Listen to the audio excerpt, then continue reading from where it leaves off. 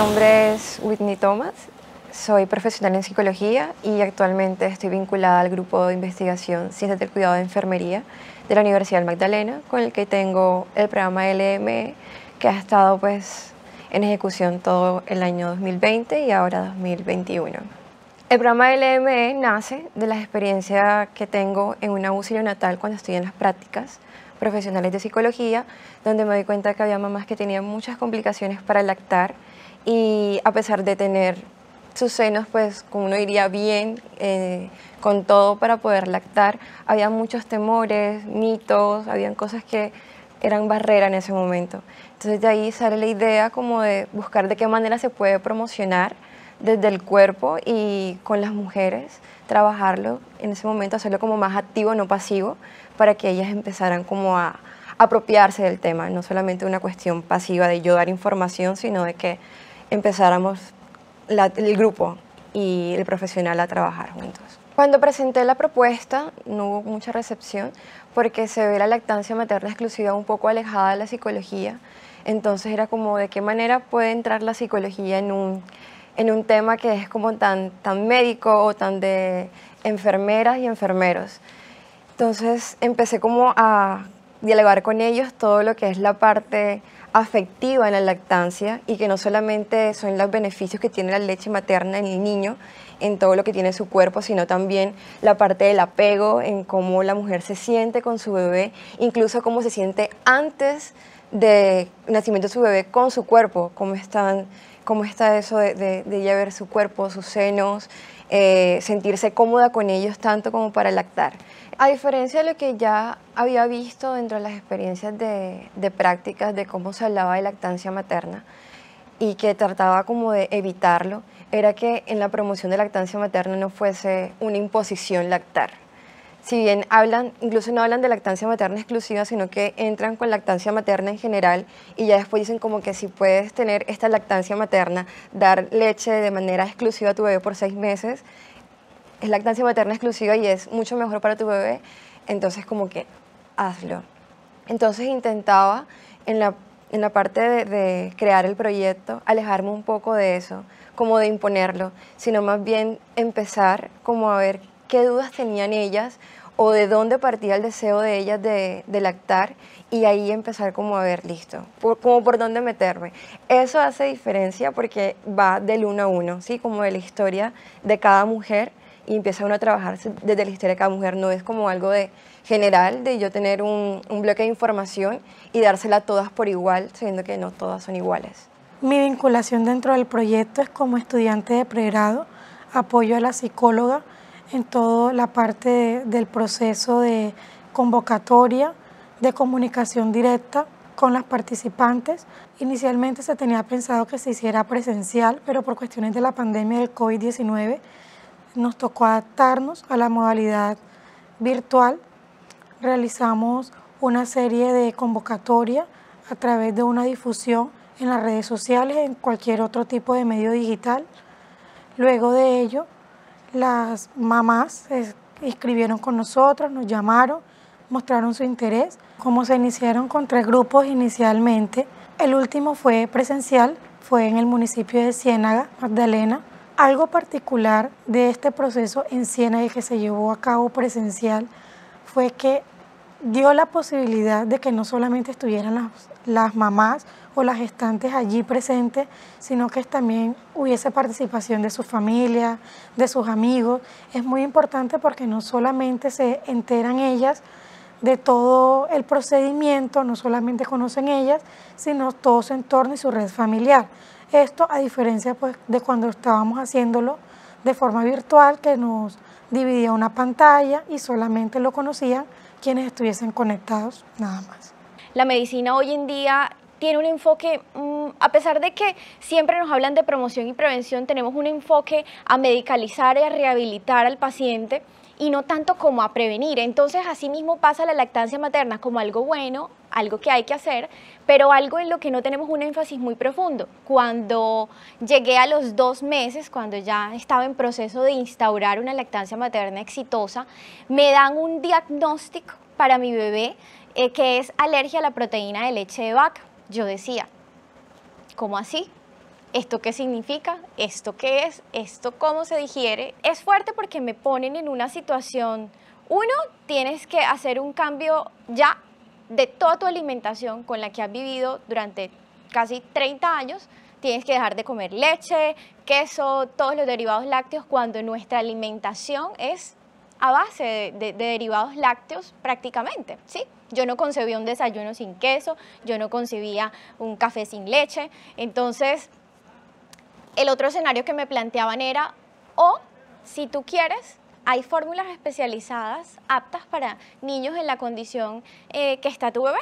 Entonces eran dos panoramas bastante desalentadores pero yo tenía claro y ya sabía lo importante y lo primordial para la salud de mi bebé y era continuar con la lactancia materna. Entonces me ahondo en el tema eh, de la alergia a la proteína de leche de vaca y hoy en día puedo decir que lo logré. Lacté a mi bebé dos años, tres meses. Em, hubo momentos de crisis completa, más que todo por, por mí, porque pues siempre he sido una mujer delgada, pero con estas exclusiones en mi alimentación y llevando la lactancia, porque para una mujer lactar es un, o sea, físicamente es un desgaste en el sentido de que... Em, es mucho el aporte de grasa que uno le transfiere a su bebé a través de la lactancia. Entonces, una delgadez, eh, que todo el mundo, pero ¿qué te pasa? ¿Pero por qué estás tan delgada? Pero, pero no estás haciendo las cosas bien. Pero era la certeza que yo tenía de que sí lo estaba haciendo bien. Lo que estaba pasando conmigo era algo transitorio, pero lo que le estaba dando a mi bebé era para toda la vida. Eh, siempre les, les, recomiendo, cuando está embarazada y veo que trabaja todo el tiempo, yo, ¿tú tienes una red social? Sí, mira, mírate las historias que monta, porque son, son, informaciones que están muy bien gestionadas, eh, muy bien sintetizadas. Aquí en Colombia hay muchas personas que lo están haciendo. Tenemos, por ejemplo, eh, Vivencias de Mamá. Tenemos en Barranquilla Cristi Cortés, que tiene una página que se, que se llama Titi Mom. Ella, aparte de ser eh, asesora de lactancia, eh, también da un pie, yo la conozco ya al momento de pasar a lo que es la, alimentación complementaria. Hay una chica también que me parece que tiene información súper valiosa, ella vive en Orlando, si no estoy mal, tiene una página que se llama Desafío Mamá, eso es maravilloso. Tenemos también Mamá Informada, eh, también creo que ella está aquí en Colombia, monta también información demasiado acertada, experiencias como tal de lo que es eh, una mamá. Entonces, si uno se da cuenta, eh, existen muchas mujeres que están trabajando y que están dando información clara y, de buena procedencia. Mi nombre es Lilia Fuentes, tengo 24 años, soy madre primeriza. Soy contadora pública egresada de la Universidad del Magdalena. Actualmente no estoy laborando, pues estoy dedicándome estos primeros meses a mi bebé. Eh, conocí del programa de protección y apoyo a la lactancia materna eh, gracias a una convocatoria que encontré en redes sociales, al cual sin duda alguna me inscribí y quise participar en ella. Tuve la fortuna de que me grabaran el parto eh, un momento muy único y mágico, el cual siento que voy a poder recrear cada momento o en cada instante, eh, porque siento que fue una experiencia maravillosa. Tuve muchas expectativas con respecto al programa, las cuales fueron superadas al 100%, porque aprendí mucho eh, sobre el tema y muchas cosas que han, han ido derrumbando tantos mitos con los que crecemos eh, gracias también al, al programa, pude tener mucho conocimiento sobre temas muy puntuales, los cuales me han servido y he puesto mucho en práctica a la hora de, de ejercer mi tarea como madre. También me gustó mucho el tema sobre el banco de leche, el cual aún sigo practicando, eh, porque de momento me ha tocado, digamos, salir a hacer eh, diligencias. He dejado a mi bebé con su leche para que él siga alimentándose. No he tenido necesidad como de, de preocuparme tanto por, por, salir a la calle y pensar que mi niño no tiene que comer. El día, en, el día que estaba en urgencias, el 12 de diciembre del 2020, sentía, me sentía muy emocionado, al mismo tiempo muy nervioso, no sabía qué hacer, estaba en una habitación dentro de la cual podía ver de lejos a Lilia y me movía de un lado para otro, muchos, demasiados nervios, hasta que, hasta que sentí el, el, lloriqueo del bebé y cuando el médico lo traía, que me lo dio en mis brazos, sentí como algo tan sublime, como si mordiera un pedazo de cielo. y me sentí el más dichoso del mundo. Cuando Lilia me comentó acerca del programa de lactancia materna exclusiva, yo me sentí muy emocionado en un primer momento, porque ella lo primero que me dijo fue que yo iba a entrar a presenciar el nacimiento de mi hijo. Además ella me comentaba las sesiones que tenían y cómo debía ser el contacto piel a piel, que es muy importante, ya que se crean esas relaciones afectivas con el niño Dentro de las rutas de atención integral del recién nacido, se está haciendo mucho hincapié en esta atención inicial al momento del nacimiento para tratar de generar un vínculo muy rápido entre la mamá y el bebé, que no estén separados, que generen ese contacto inmediato, porque fisiológicamente un bebé al momento de nacer durante la primera media hora de vida, es el tiempo en el que el bebé está más activo, más despierto y va a empezar a buscar, a tener ese reflejo de búsqueda para finalmente llegar a la succión y en la medida que la mamá esté tranquila, esté contenida, esté apoyada, va a tener mucho más éxito en esa lactancia. Debemos conocer desde el ámbito de la salud que hay situaciones que nosotros también debemos respetar porque hay mamás que deciden no lactar y eso no, no les genera un rótulo de malas mamás por eso. Hay mamás que tienen condiciones de salud que impiden la lactancia y eso tampoco debe ser rotulado como, como algo negativo porque las mamás, como dije al principio, no hay ninguna mamá que no sepa que la lactancia materna es lo mejor para su bebé. Entonces, si hay alguna circunstancia en particular que impide que ese proceso se realice, nosotros somos los que debemos estar ahí para apoyar a esa mamá. Porque el impacto psicológico que esto genera cuando nosotros generamos tanta expectativa en la lactancia y si por alguna condición eso no se puede dar, eso eh, influye negativamente también en la mamá y en ese apego y en ese vínculo. Entonces, eh, ahí está el arte de la medicina. ¿sí? La medicina no es un conocimiento, es un arte. Y ese arte es contextualizarnos, poder entender la situación particular de cada familia, de cada mamá. Eh, como les decía, hay situaciones que son muy puntuales, muy poquitas, pero también existen, que contraindican la lactancia o que impiden una correcta amamantamiento. Bueno, entonces debemos recordar que en este proceso normal de lactancia hay diferentes fases. Inicialmente la fase del calostro, en el cual es muy poquita cantidad, es de un color más oscuro, es lo que se produjo durante toda la gestación. Esta poquita cantidad es suficiente para el recién nacido, no necesita eh, digamos, grandes cantidades de leche. De hecho, la capacidad de ese estómago en el bebé el primer día de vida es de muy poquito volumen, por lo tanto, esa poquita cantidad le es suficiente para mantenerse totalmente normal mientras se produce la leche de transición, que ya es una leche de características diferentes, que tiene un color más blanco, es un poquitito más fluido. Y luego la leche madura, que es esa leche que inclusive el tiempo de, de salida de esa leche también va cambiando. El tema de reconocer o de tener en cuenta el tamaño del estómago de un bebé recién nacido es muy importante para que la mamá pueda visualizar que ese bebé no necesita grandes cantidades de leche y que el cuerpo del bebé está preparado para ir adaptándose a esta transición que se produce en la producción de leche. Al principio es poquita cantidad, luego va aumentando en volumen y de la misma forma va aumentando el tamaño del estómago del bebé. Por lo tanto, un bebé recién nacido, si esto nosotros lo extrapolamos a la cantidad de leche que pudiéramos medir, nunca va a necesitar una onza, dos onzas de leche porque el estómago no tiene la capacidad para albergar tanta cantidad de leche. Entonces es muy bonito mirar estos diferentes tamaños de un bebé de un día, de un bebé de tres días, de un bebé de una semana, para que podamos entender que la capacidad de ese estómago es muy reducida y a medida que el bebé va creciendo, ese estómago va aumentando.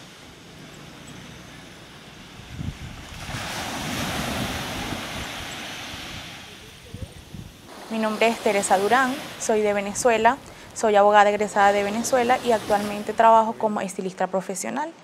Eh, yo llegué al programa por medio de una clienta que ella trabaja en la U y me recomendó que estaban haciendo la lactancia, el programa de la lactancia materna y yo decidí inscribirme.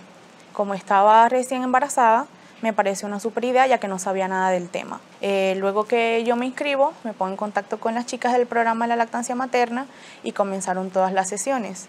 Eh, yo duré como hasta la mitad. Lamentablemente mi bebé murió.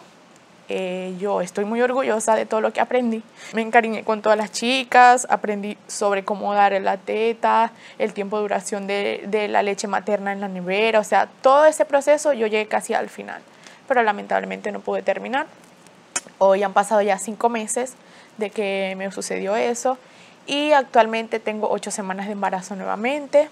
Estoy muy contenta, muy feliz, cuidándome mucho la salud. Mi nombre es Caterina Andreina Durán Gutiérrez, tengo 26 años, soy diseñador gráfico, trabajo actualmente acá como manicurista, eh, soy hermana de Teresa. Cuando mi hermana comienza con sus dolores de parto, ella toca la puerta de mi cuarto y me dice, Kate, me siento mal, eh, creo que ya la bebé va a nacer. Enseguida nos cambiamos de ropa y nos vamos al puesto de salud. Al llegar al puesto de salud nos comentan que la bebé tenía deficiencia cardíaca, que iban a llamar a una ambulancia para trasladarla a ella y hacerle una cesárea de emergencia, porque ella no estaba dilatando y su presión arterial estaba alta. O sea, todo eso fue un momento muy marcado en nuestras vidas, pues era algo muy inesperado. Eh, y a pesar de, de todo lo que pasó, somos personas creyentes de Dios nos unimos todos en oración. Eh, ya la bebé estaba en otro lugar, ella estaba descansando, pero mi hermana seguía peligrando, o sea, ella seguía ahí entre la vida y la muerte. Y era algo que teníamos que soportar y que aguantar y que seguir confiando en Dios en que todo iba a estar bien. Actualmente vivo con mi esposo, mis padres, mi hermana y mis abuelos, que ellos cuando se enteraron que yo estaba embarazada, eh, vinieron de visita a Colombia y se quedaron acá. Ya ellos tienen un año viviendo conmigo, ellos iban a ser mi red de apoyo en todo momento, al momento de yo trabajar, dejar a la niña con mi hermana, con mi mamá, al momento de la lactancia, mi esposo también, darme ese apoyo, estar allí conmigo en las noches, en todo momento. Y actualmente ellos viven conmigo. Recuerdo que cuando las chicas me escribían, tenemos sesión hoy, yo siempre estaba trabajando y sacaba el tiempo para poder asistir a las clases con mucha emoción. Y de las clases, las que más me gustó fueron las clases de mito o realidad que era donde decía que si el seno era muy grande, uno producía más leche o que si el seno era muy pequeño, uno no iba a producir la leche suficiente. Eh, en cuanto a la lactancia materna, fue muy enriquecedor para mí y sé que toda la que aborda el tema va a ser lo mismo, ya que nosotros venimos con una mentalidad muy diferente eh, respecto a las fórmulas, que eso es lo mejor, lo más adecuado para el niño, cuando no es así. Muchas madres dicen, yo voy a darle tres meses teta al niño y hasta allí cuando no sabemos que mientras más ellos estén pegados a nosotros, mejor para ellos, más anticuerpos eh, generan, este, su sistema inmune se vuelve mucho mejor, cosas que con la leche de fórmula jamás va a sustituir la leche materna. Viví con ella todo lo que fue el proceso de la lactancia materna exclusiva, eh, todo el proceso del curso. Yo también soy mamá, tengo un niño de 5 de cinco años y cuando ella me comentó que iba a iniciar el curso de la lactancia materna exclusiva, yo también me emocioné, ya que cuando yo tuve a mi niño, yo no tuve la oportunidad de tener ese beneficio. En mí fue todo lo contrario. Mi bebé no tuvo lactancia materna, fueron los primeros cinco días de nacido y ya. Eh, allá solo me hablaban de lo que era la leche de fórmula, en ese momento me hablaron muy poco de la lactancia materna, solo dale fórmula, te va a dormir más, va a estar más gordito, sin yo saber lo importante que era realmente la lactancia materna. Y cuando ella comenzó en eso, yo también, o sea, ella me decía, no, tengo, tengo videollamada a las 6 de la tarde.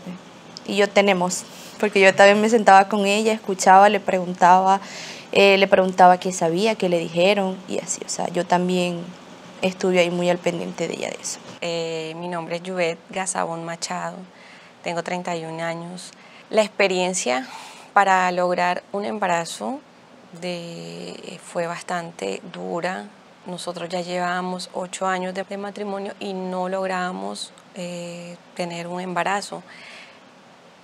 Físicamente estábamos en la capacidad los dos porque nosotros nos hacían eh, tratamiento, exámenes y relativamente todo salía dentro de los límites normales para lograr un embarazo, pero no se concretaba nunca.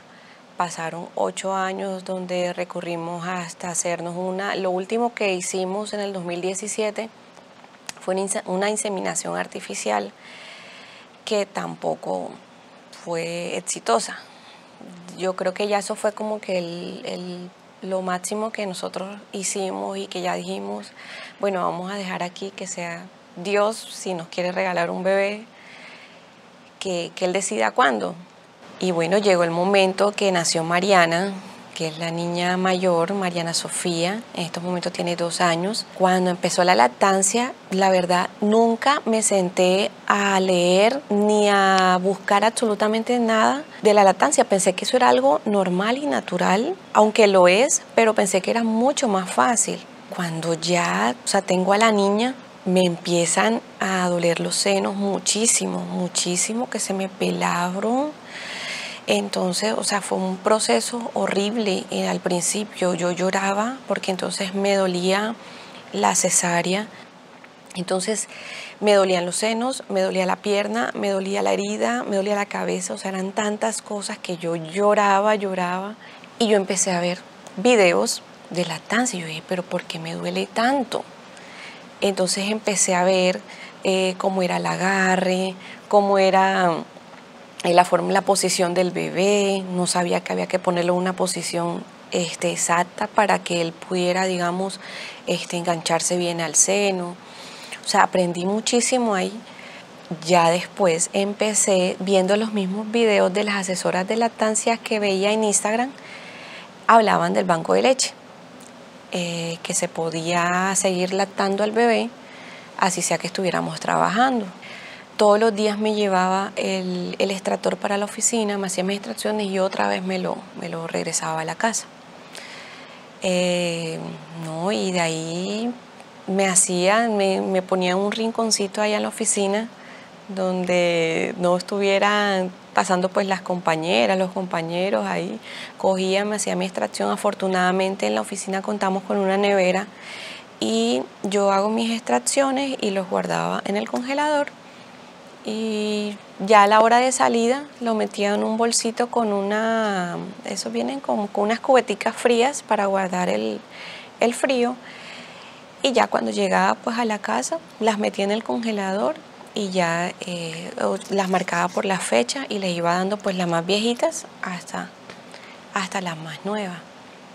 A la niña cumplir un año me entero que estoy nuevamente en embarazo también sin ningún tratamiento, sin nada. Eh, me entero que estoy embarazada y el, el 8 de agosto del 2020 nació Samuel David. Ahora mismo tiene seis meses. ¿Cómo ha sido la lactancia con Samuel? Ha sido maravillosa, ha sido mucho más fácil, ha sido exclusiva. Con la niña fue exclusiva, pero ¿qué pasó? Como al principio tuvieron que comprarle un potecito de, leche. La niña el primer mes se le daba uno que otro teterito. A Samuel no se le ha dado nunca un tetero diferente que no ha sido mi leche. Una leche diferente no se le ha dado nunca. Ha sido, al principio pues me dolió un poco los senos, pero fue momentáneo, fue como cinco días más o menos. Con Mariana fueron muchos más.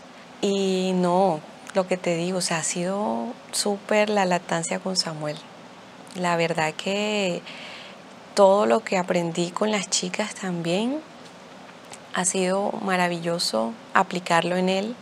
Lo poco que no sabía eh, fue, o sea, ha sido súper la lactancia con él, de verdad. Eh, de pronto la suegra te dice algo, eh, tu, tu mamá te dice algo, entonces uno no sabe ni cuál de las dos tiene la razón entonces se llega el proceso de confusión. Mi esposa afortunadamente le gusta estar investigando y por medio de ella es que he seguido de la mano y he aprendido muchas cosas con ella, ya en esa parte. Eh, en salud, lo que es salud, beneficioso para mis hijos eh, porque se han, han, crecido sanos gracias a la leche materna y en parte económica es satisfactorio porque eh, rinde, rinde económicamente, no lo voy a negar, eh, se puede emplear para otras cosas, prendas de vestir, los pañales que son muy costosos, entonces digamos que es una inversión muy buena. Y mis hijos se están protegiendo sanamente. Obviamente uno comenta situaciones como eh, me desvelé anoche, eh, el niño lloró, eh, había que sacar la, bolsita de leche de la nevera, ponerlo en agua maría, perder un poquito de tiempo, no pasar, no dejarse que se caliente mucho, todo ese proceso. Entonces ya te, se deben imaginar que uno del trabajo cansado, la desvelada, estar pendiente al tiempo, eh, dárselo al niño, que, nos, que esa bolsita no le alcanzó, que siguió llorando por más. Es, o sea, eso es un proceso que uno le comenta a familiares, amigos, y no está el que siempre le dice, pero, pero, pero, pero, ¿qué haces eso? ¿Por qué mejor no compras el poste y, te evitas de tanta cosa? Y, y, en fin, o sea, siempre lo vas a escuchar de, de, de cualquier persona. Pero no, seguimos, o sea, seguimos con mi esposa, mi esposa siguió dando ahínco ahí en la situación y seguimos nosotros luchando con eso. Entonces, siempre que tengo la oportunidad de decirle a un amigo que esté eh, recién, recién papá, le digo que lo que debe hacer. Y tratar de que ellos al menos sigan el ejemplo. Y como es libre albedrío, ellos decidirán si, si les funciona o no les funciona. Pero siempre les he recomendado eso a muchos. Este proceso pues no es netamente un proceso riguroso, un proceso muy eh, formal que deben seguir, presentarse a clases, puntuales o algo así, sino que somos muy flexibles porque nos colocamos en el lugar de ellas, en eh, la posición en la que ellas están, pues en su momento, y es algo natural que pues todos pasamos por, por este tipo de situaciones. Dentro del programa algo que me impactó o que tal vez fue como un recordar y tener en cuenta en las próximas sesiones o en lo que siga trabajando con lactancia materna es que puede haber las disposiciones en las mujeres para lactar, más no las garantías para lactar. Entonces, si bien yo podía encontrar a ellas muy dispuestas en lactar, con las ganas de hacerlo y con todo el conocimiento, porque esa es otra de las cosas que uno piensa, que las mujeres no están lactando porque no conocen la importancia de, dar leche materna o que no conocen cómo hacerlo. En el caso de ellas, que ya habían dado, que ya sabían cómo hacerlo, pero que se encontraban en el momento en que no tenían trabajo o que tenían que regresar al trabajo. Pues obviamente todos esos temores volvían como a salir y truncaba la lactancia. Entonces creo que una de las cosas más significativas que me ha dejado este programa es recordar eso. No solamente es trabajar en programas que den información sobre cómo y qué hace la teta, sino también empujar a que sea esto un poco más amable con la lactancia, porque no hay una sociedad para la lactancia. Y todo lo que se trabaja desde lactancia trata de ser acomodado con la sociedad. Todo tiene que ser acomodado a un mercado laboral. Encontramos, por ejemplo, tenemos participantes que lograron hacer sus bancos de leches y extracción dentro del mismo trabajo, pero no es, algo que sea completamente compatible. Si bien es una medida que ha ayudado a muchas mujeres a seguir con la lactancia, es una medida que todavía no sigue siendo, que no es amigable completamente con la, con la lactancia.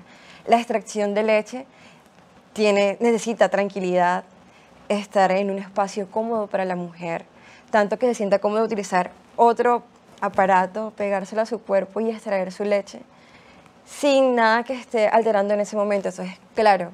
Uno cree que en una hora todo eso lo logra y no. Tal vez demoras un poco más acomodándote y otro tiempo más extrayendo tu leche.